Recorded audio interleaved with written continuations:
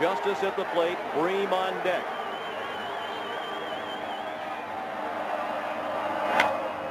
Round into the right. Booted by Lind. Pendleton to third on the play.